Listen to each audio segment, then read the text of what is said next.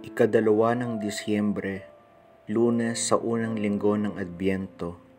Ang mabuting balita ng Panginoon ayon kay San Mateo. Pagdating ni Jesus sa Capernaum, lumapit sa kanya ang isang kapitan at nakiusap sa kanya, Ginoo, nakahiga sa bahay ang aking katulong. Lumpo siya at sobra na ang paghihirap. Sinabi sa kanya ni Jesus, paroroon ako at pagagalingin ko siya. Sumagot ang kapitan, Hindi ako karapat dapat para tumuloy ka sa bahay ko. Magutos ka lang at gagaling na ang aking katulong.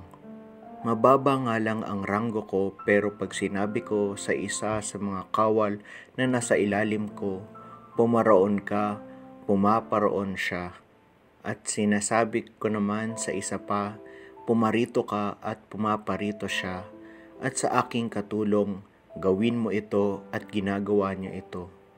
Nang marinig ito ni Jesus, humanga siya at sinabi sa mga sumusunod sa kanya, Sinasabi ko sa inyo, wala pa akong natagpuang ganitong paniniwala sa Israel.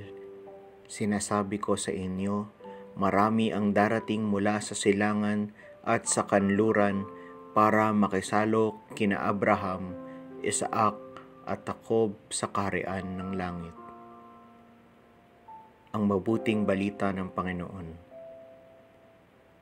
Pagsasadiwa, hindi ako karapat dapat para tumuloy ka sa bahay ko. Magutos ka lang at gagaling na ang aking katulong.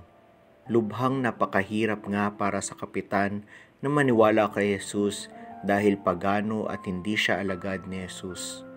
Subalit ang matindi niyang pagmamahal sa kanyang katulong ang nagtulak sa kanya upang magtiwala kay Jesus. Totoo ngang ang ina ng pananampalataya ay pag-ibig. Walang sumasampalatayang hindi umiibig. Marami sa atin ngayon ang may mga kapamilyang may karamdaman, kanser, leukemia, tumor sa utak at kung ano-ano pa Tataningan ng doktor ang kanilang mga buhay na tila sila mismo ang Diyos. Subalit sa gitna ng kawalang pag-asa, naniniwala tayo na gagaling ang ating mga mahal sa buhay at madurugtungan ang kanilang buhay. May mga pagkakataong naghihimala ang Diyos, isang natatanging kaloob para sa isang tao.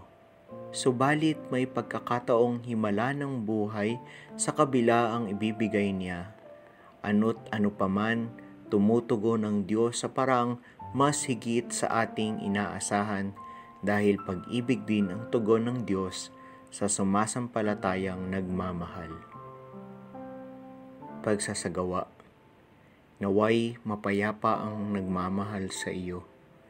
Anong mga karanasan ng pag-ibig ang nagdadala sa iyo upang sumampalataya sa Panginoon?